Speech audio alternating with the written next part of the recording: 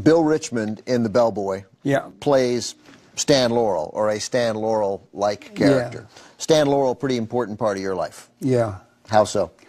Well, we became very, very close friends when the Academy wanted to give Stan a Lifetime Achievement Award. And Stan didn't want to accept it. He says, I'm not going to stand on a stage and get a recognition of this kind without the people that helped me do it. And he was he was a, a taskmaster. And when I gave him the script to read, The Bellboy, he scratched a couple of things.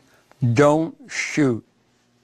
Then below that, shoot this twice.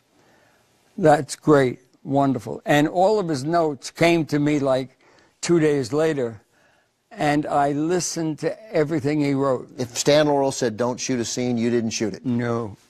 That is fantastic. I remember Stan said, if you're going to do comedy, you must never, ever be embarrassed.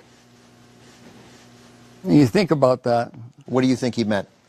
What he meant was don't be so cautious about what you do and how you look doing it.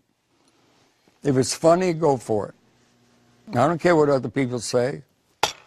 And I've always trusted the laugh.